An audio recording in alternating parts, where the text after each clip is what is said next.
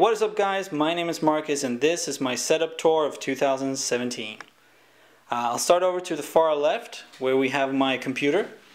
Uh, it's built in the uh, Enthoo Evolv uh, and it has the brand new GTX 1080 in there. And I usually use the 1080 to power my HTC uh, Vive as you can see right there.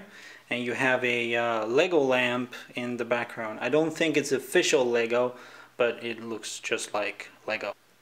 Uh, then you have my little plastic plant. Just a little plant on my desk. Uh, next to that you have the uh, Nexus 6P. And then you have one of my portrait mode Dell monitors. Uh, I actually have two of them.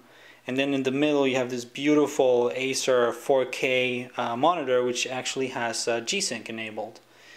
On top of that monitor we have the uh, older Logitech C920 and uh, below it in the middle there we have the O2 DAC and amp combo. Um, my current and what has been my keyboard for a long time now is the CM 10Keyless keyboard. Uh, this one is with uh, MX Red and it has combo uh, arrow keys with numpad that you can easily switch between which I think is absolutely fantastic because you get the benefit of the 10Keyless, but you don't really lose anything. Uh, next to that you have my SteelSeries Sensei mouse, which I use for gaming.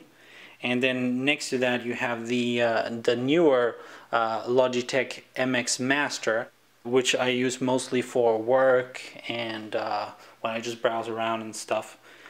Uh, next to that you have a real plant, and uh, then you have my microphone, which is a Boya microphone. Um, that's my, uh, my setup in uh, 2017. I uh, hope you enjoyed the video. Leave it a thumbs up if you liked it and subscribe if you want to see more.